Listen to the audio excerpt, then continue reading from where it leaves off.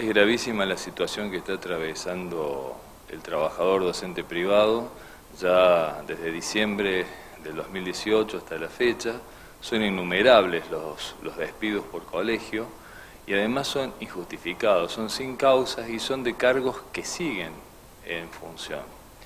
Este, la verdad es que uno presupone que en la línea que vivimos en lo nacional, la precarización del trabajo, lo que están haciendo es sacarse de encima los trabajadores que tienen antigüedad este, y reemplazándolos por docentes que les salen más baratas, más baratos a la institución.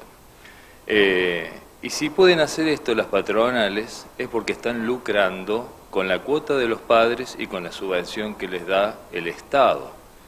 Eh, si no nos explica que, por ejemplo, haya colegios, San Luis Rey, Santa María, un montón de colegios confesionales que han despedido a lo mejor 5, 6, 7 docentes en este tiempo, cuando uno calcula las indemnizaciones que deben ser, no las que ellos pagan, porque es, por eso después terminamos en juicio, ascienden a millones.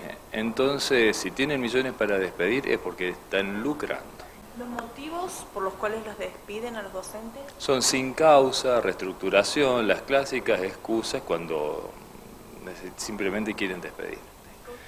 Eh, sumado a esto, imagínense colegios que tengan casi todo el personal con un 90% de subvención y pueden cobrar la cuota que se les antoje a los padres, obviamente que lucran, que no es el espíritu con el cual deberían existir y con el cual existen a razón de la ley.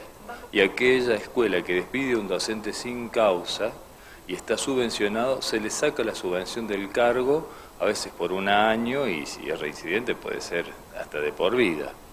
Eh, y en el caso este, de las cuotas, que pongan una variable, cuota subvención, en base a la cantidad de alumnos, en base a la subvención que tiene, eh, y poner un límite al aumento de cuotas que por ahí no tiene sentido.